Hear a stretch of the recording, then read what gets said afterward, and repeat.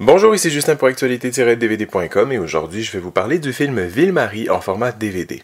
Réalisé par Guy Edouin, le film est en vedette Monica Bellucci, Pascal Bussière, Alyosha Schneider et Patrick Yvon.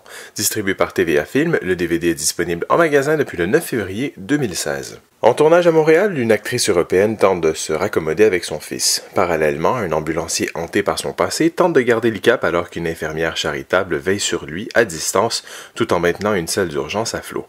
C'est à l'hôpital Ville-Marie que ces quatre vies entreront en collision pour en ressortir irrémédiablement changées. Film choral Ville-Marie de Guy avec la célèbre actrice italienne Monica Bellucci nous transporte en plein cœur de Montréal où le destin de quatre personnages qui surmontent des situations bouleversantes s'entrecroisera. Leur vie prendra alors une tournure inattendue. Après avoir réalisé Marécage en 2011, une œuvre sur la ruralité, le cinéaste Guy Edouin change de milieu en choisissant de tourner à Montréal. Le réalisateur a construit son film autour des personnages, dont celui de Marie, qu'il reprend de Marécage. Dans Ville-Marie, elle est de nouveau infirmière, elle travaille sans arrêt et elle a un fils qu'elle ne voit pratiquement plus. L'actrice internationale Sophie Bernard, campée ici par nul autre que Monica Bellucci, tente également de renouer avec son fils Thomas, qu'elle n'a pas vu depuis trois ans, lorsqu'elle atterrit à Montréal pour le tournage d'un film qui semble étrangement basé sur sa vie. Souvent sur un incident dramatique, Ville-Marie aborde la difficulté d'être parent et la relation aux enfants. C'est aussi l'occasion de voir les multiples visages de Monica Bellucci. Au début du récit, elle incarne la beauté, l'image de l'actrice de rêve inaccessible, un peu au-dessus de la mêlée. Un accident se produit et le masque tombe pour révéler son humanité et la femme sans artifice. Malgré des a priori assez invitants et ambitieux, Ville-Marie souffre de nombreux problèmes tant au niveau du fond que de la forme. D'un point de vue scénaristique, le film souffre d'un manque de profondeur, de détails.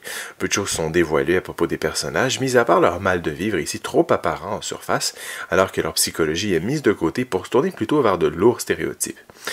En ce qui a trait à la mise en scène, Edouin ne prend pas de risque et filme ses acteurs et actrices avec une trop grande retenue celui qui voulait faire de Montréal l'une des vedettes de son film en démontrant des facettes bien ordinaires et les nombreux, côtés, pénibles de cette ville en constants travaux. Il ne se contente ici au final que de filmer quelques cônes et de plans d'ensemble de nuits peu originaux du centre-ville qu'on a déjà, vu des tas et des tas de fois. De plus, le cinéaste peine à apporter un rythme à son film, ce qui rend l'expérience parfois laborieuse. Du côté technique, une piste en français Dolby 5.1 est offerte avec des sous-titres en anglais et en français pour malentendants. L'image est présentée en format panoramique 2.35. Pour les suppléments, on retrouve un bon documentaire détaillé sur le tournage du film, tout simplement intitulé Le Making of.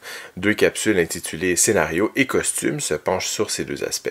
Enfin, la bande-annonce du film est présentée. 2015 n'aura malheureusement pas été l'année de Monica Bellucci. Après une apparition quasi anecdotique dans Spectre, le dernier film de la série James Bond, et la tête d'affiche de Ville-Marie, la célébrissime actrice italienne n'a pu, malgré elle, démontrer son plein potentiel.